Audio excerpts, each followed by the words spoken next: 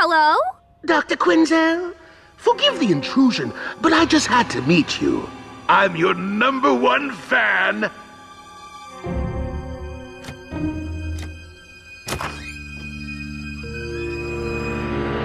I'm Mr. J.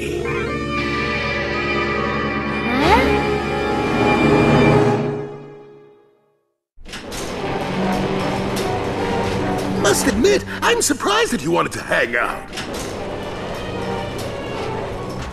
Most ladies would find my lifestyle eccentric. Oh, I may act goofy on TV, but I'm still a doctor. Extreme personalities intrigue me, and an extreme personality like yours might be the ticket to getting back my old show and maybe finally some respect. Oh.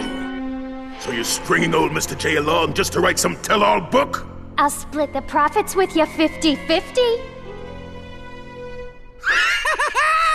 You've got Moxie! I feed Moxie to the hyenas.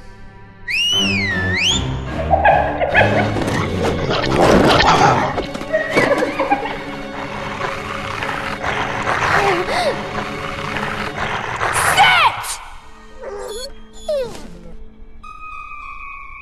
You're good. What do you say we sit down and, you know, have a heart to heart with Harley?